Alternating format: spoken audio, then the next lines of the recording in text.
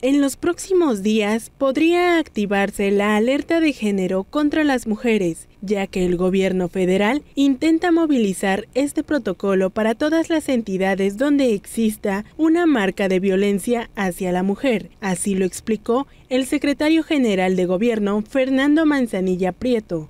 El secretario aseguró que desde el gobierno anterior ya se notaba esta situación.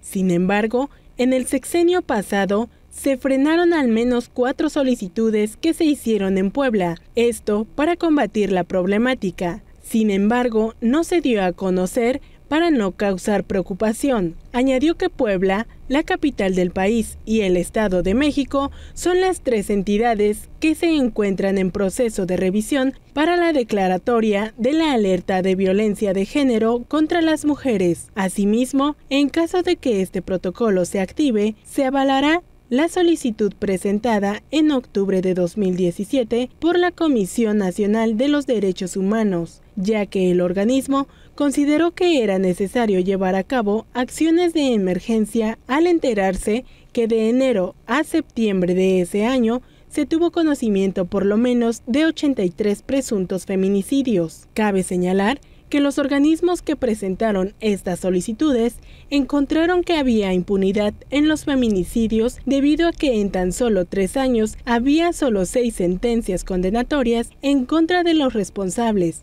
Por ello, para evitar que se declarara la alerta de género, se emitieron 15 conclusiones en las que incluían 56 recomendaciones, Dentro de ellas, se señalaba que el gobierno estatal contaba como plazo hasta mediados de febrero de 2019 para acatarlas. De no ser así, se avalaría este protocolo.